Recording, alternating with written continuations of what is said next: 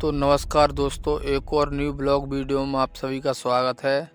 तो दोस्तों, आप सभी देख सकते हैं कितना भाई का नुकसान हो गया है। इतनी बारिश के कारण कभी भी आप डीजे लगाएँ तो देख भार कर ही लगाएँ, क्योंकि बारिश का कोई समय नहीं होता है।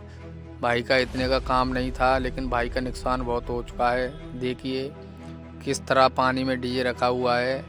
और दोस्तों, मैं आपको बताना चाहूँगा कि कभी भी नाले की साइड से डीजे लगाएँ तो टेबल के ऊपर ही लगाएँ ताकि आपका नुकसान ना हो, क्योंकि बारिश का, कुदरत का कुछ भी पता नहीं है। कभी भी बारिश हो सकती है।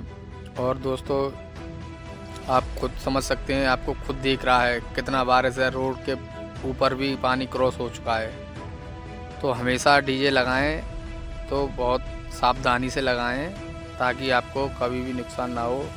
फिर मिलते हैं एक और न्यू वीडियो में।